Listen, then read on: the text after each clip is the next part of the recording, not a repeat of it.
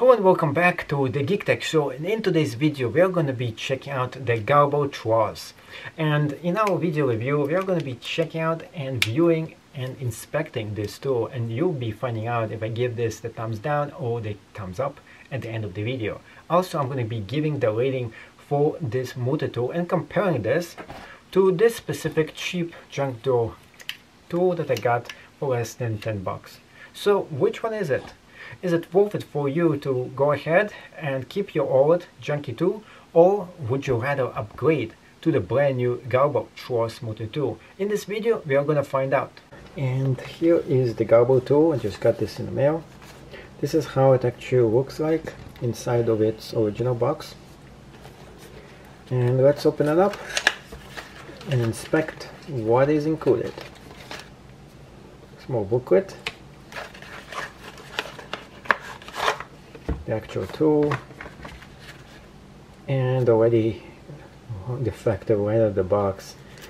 It's kind of a shame that this specific one doesn't have a better carrying case to it. Also over here, this doesn't look too good, but this is okay. This will do. You can put this two ways on you, but you have to take your whole belt off to strap this on, which is not too cool. I don't like that that much. But the most important thing is of course the tool itself. The thing for this tool is not so great. It doesn't look great already and I just bought this. So not happy with that at all. Now let's compare this to a cheap tool I just got from Walmart. This is one like it. It's about the same exact size. This is a little bit more heavy more substantial. It opens up pretty easy and quick. It is a camel version of it. And if you open up right here, this actually opens up pretty well as well. They kind of look about the same. This one has black in it.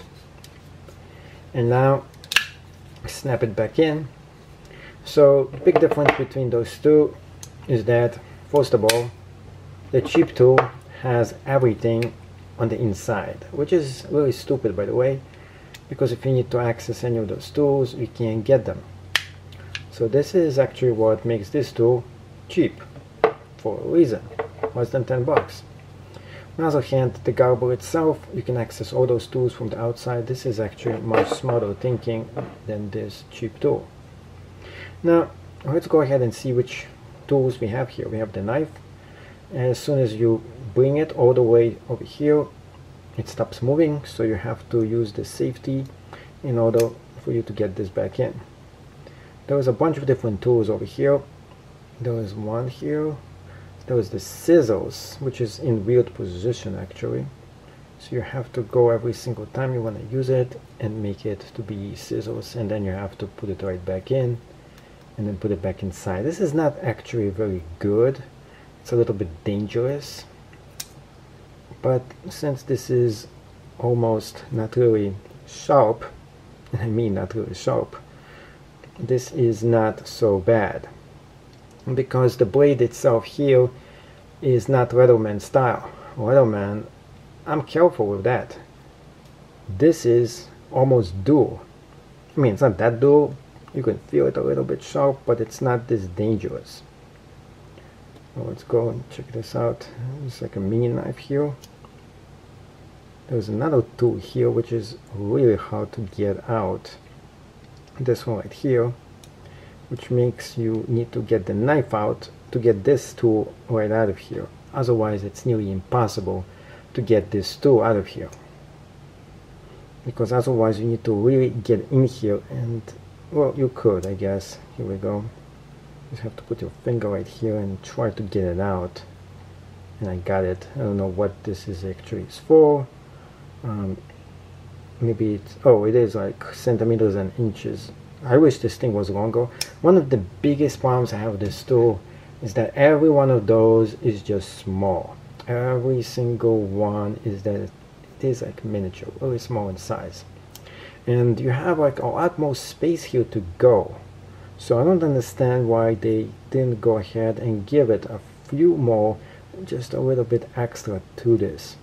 It would have been a little bit of a better tool here. Here's another one, the screwdriver. So here we go, screwdriver itself. Press on this. The tools in this specific Gerber much better than in previous ones I've seen before, but there is a few problems. First of all, well, if you look like this, this is good. Previous one had a problem well both of them were not even aligned which was the suspension Gerber itself.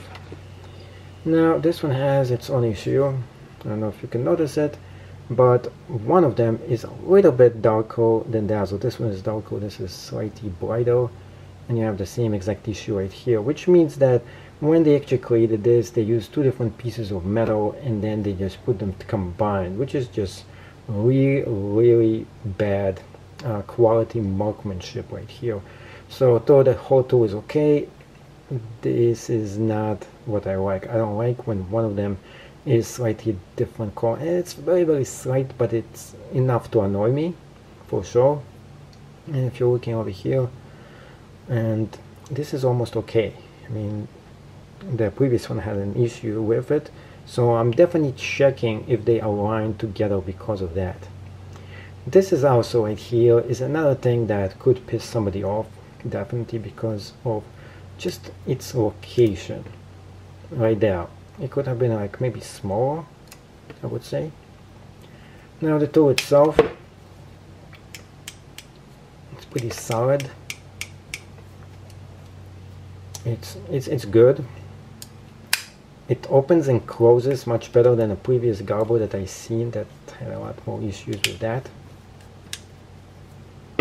but this tool has its own issues. The one I don't like is already explained two different cores but this is only quality control so it's not such a big deal.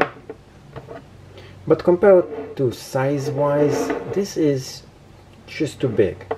I would say compared to my hand you can see that this is a humongous a big tool for you to have in your pocket. So I would say if you can get the super cheap it's not such a problem if somebody gives you it as a gift, it's okay. But overall, I'm not going to be jumping on a tool just like this. I don't like the way it actually looks. It looks maybe okay, but I wish it was a little bit more slimmer here. Two, it's not the best in grip. So let's say you want to use like a knife, for example. I'm just holding it. It feels a little bit too awkward, a little bit too big. It's very hard for you to wrap your hand around this because the item is just slightly too big. It just is unless you have bigger hands and my hands are pretty big enough. So I'm actually thinking that this tool has been designed well. If you have big hands if you have like small hands this is just too big for your hand period and you can see right here how big this tool is actually is and the downside is it's okay if it's big if the tools are big too, but the tools are small compared to the size of this whole tool. So yeah, I'm rating this maybe like a little bit thumbs down, maybe I would say 6 out of 10 scale. And this wraps up the review of the Gerber tool.